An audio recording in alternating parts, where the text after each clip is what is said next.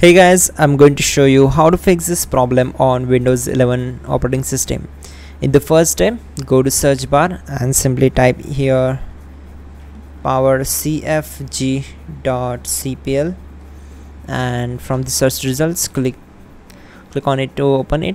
Once we are here, select change plan settings then click on restore default settings for this plan then select S once done close this window and go to settings. Click here to open it. Once we are here we need to select personalization.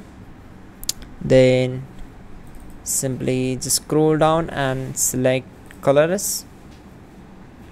And from the accent colors we need to select manual. Once done we need to select accessibility.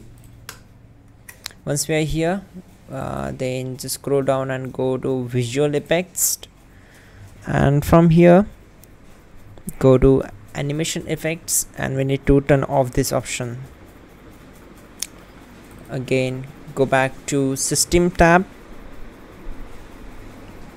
And so this is done. Just close this in the final step simply go to search bar and type in device manager. And we need to update the drivers of display adapters. So just expand this and right click here select properties go to drivers tab and click on update drivers.